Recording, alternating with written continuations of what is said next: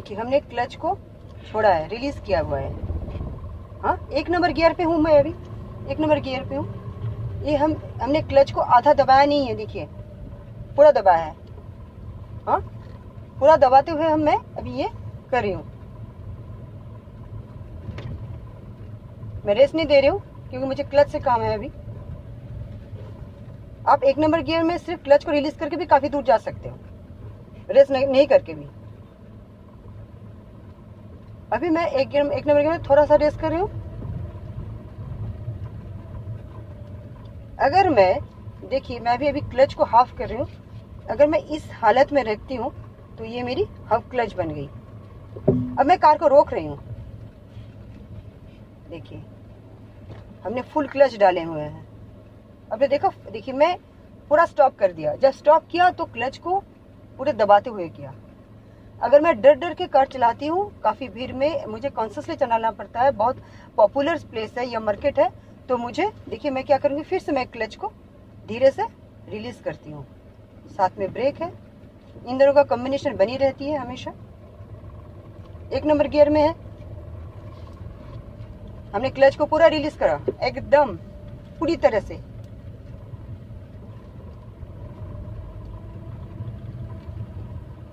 Full देखिए, हमने कुछ नहीं है। क्लच को बिल्कुल छोड़ दिया। देखिए आप। फिर भी गाड़ी आगे जा रही है, देखिए। हमने कुछ नहीं पकड़ा। रेस नहीं किया, क्लच नहीं, कुछ नहीं किया। हाँ? देखिए, गाड़ी चल रही है ना? विदाउट एनी रेसिंग हम इसका क्लच में कर सकते हैं। मैं अभी थोड़ी सी रेस देती हूँ। देखिए, मैं रेस दे रही हूँ और क्लच को हाफ़ बना के रखा है, देखिए। Half clutch. Half clutch. Race दे रही हूँ, हाफ़ क्लच। ये ये रेस भी दे रही हूँ और थोड़ी हाफ़ क्लच भी कर रही हूँ। ये गलत है। मैं ये कमांड दे रही हूँ कि तुम आगे चलो और फिर हम स्टॉप भी कर रखे नहीं नहीं, मत चलो। हमने उसे पकड़ के रखा है। तो हाफ़ क्लच का मतलब ये हो जाता है क्लच का मतलब ये हो जाता है आपका कि हमने दोनों डायरेक्शन एक साथ, दोनों कमांड हमने एक साथ दे के रखा है। हाफ़ क्लच का मतलब यही हो जाता है। तो ठीक है, अगर दोनों कमांड एक साथ हम अपने कार को देते हैं तो कार तो डैमेज होना ही है, आज नहीं तो कल। अभी मैं देखिए फुल क्लच दबाते हुए ब्रेक को दबा रही हूँ, क्योंकि मुझे कार को स्टॉप करने हैं। वो भी धीरे से, झट से नहीं। ठीक है? तो मुझे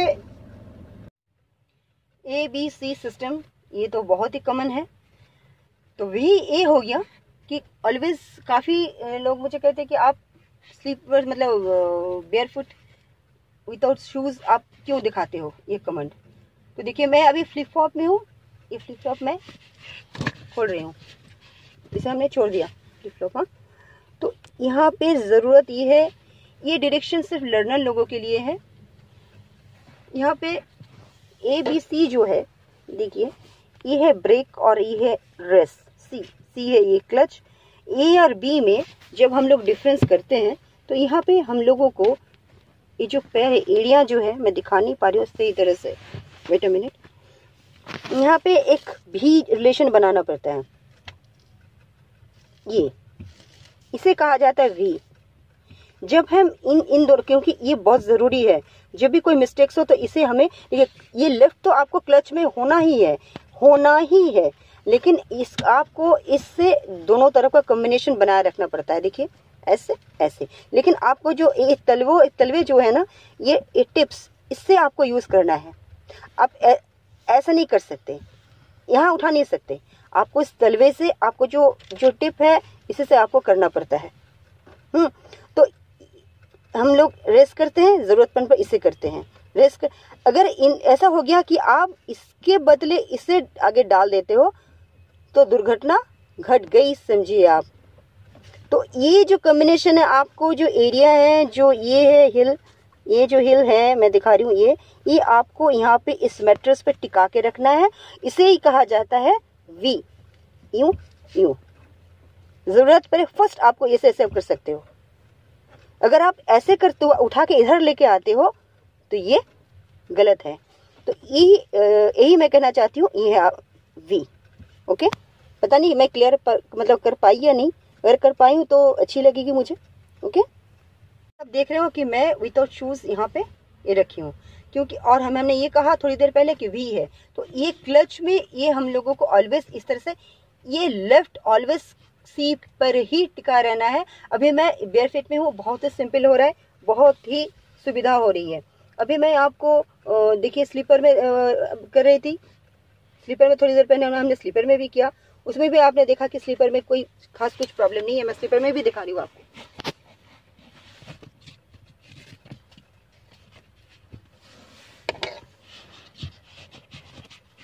स्लीपर का लेंथ कितना है वन इंच या वन एंड हाफ इससे भी आपको क्लच हब क्लच इस सब का टच आ जाता है टच एक बहुत ही इम्पॉर्टेंट चीज़ है टच से इंसान को बहुत कुछ मालूम होते हैं अच्छा अब मैं कर रही हूँ कर मतलब कर रही हूँ कि हाई एल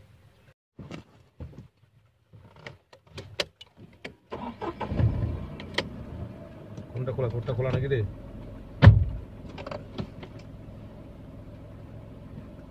ভিডিওটা ঠিক না করে সেট করো না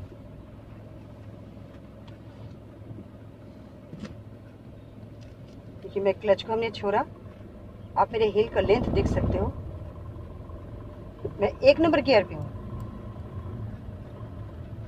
मैं दिखा रही हूँ आपको लेंथ देखिए कितनी लेंथ है ठीक है लेंथ का कुछ हिल में तो कुछ आपको फर्क पड़ेगा ही अगर आप लिसनर हो लर्नर हो ठीक है तो आपको, देखिए, मैं हिल में अभी पेडल पंपिंग कर रही हूँ।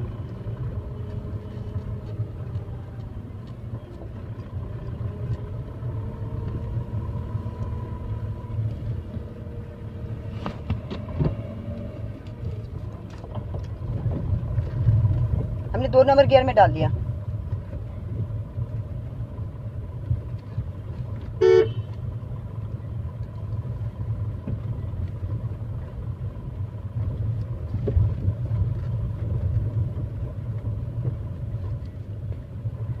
पेट्रोल पंपिंग में आप टच का एक इम्पोर्टेंस तो है है नहीं, ऐसी बात नहीं है कि टच का इम्पोर्टेंस नहीं है। मैं दो नंबर गियर पे हूँ। जाच्छी देखो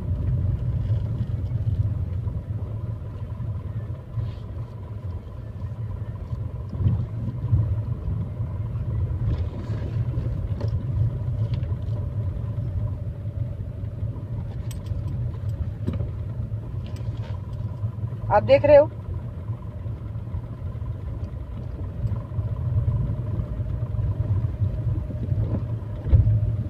यहाँ पे मैं सिर्फ़ थोड़ी बहुत रेस कर रही हूँ। अदरवाइज़ पेडल पंपिंग की मतलब कोई भी मैं खास कुछ यूज़ नहीं कर रही हूँ अभी।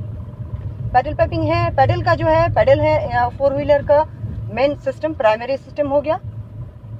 और सेकेंडरी में आप, हो गया हैंड सिस्टम जो है एक्सेसरीज जितनी भी है वो आपको सेकेंडरी में आ गया। क्या आपको लग रहा है कोई फ़र्क? लेकिन अगर आप मतलब एक में लर्नर हो तो आपको थोड़ी बहुत फ़र्क पड़ेगा। क्योंकि आप कितनी ज़ोर लगा रहे हो, कितनी टच आपको हो रही है।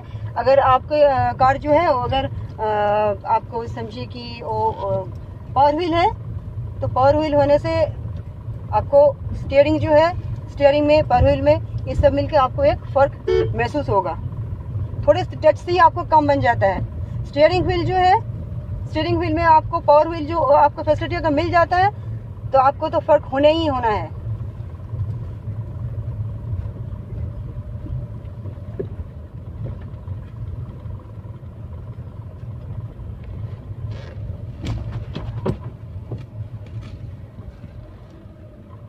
अभी मैं कार को रोक रही हूँ। की बोल छो আর এক নম্বর যদি থামাতে হয় দু নম্বর থেকে নিউট্রালে করো দু নম্বর থেকে নিউট্রালে করে ছেড়ে দাও ঠিক আছে ধরো ধরো ধরো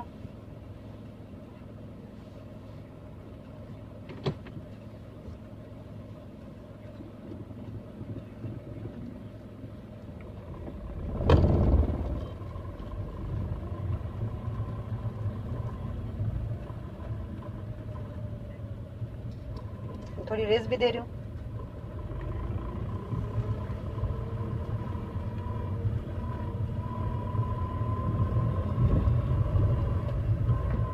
ये जो मैं एड्रेस दे रही हूँ ना हिल के लिए थोड़ा सा फ़र्क पड़ता है, अगर हमें आदत नहीं है।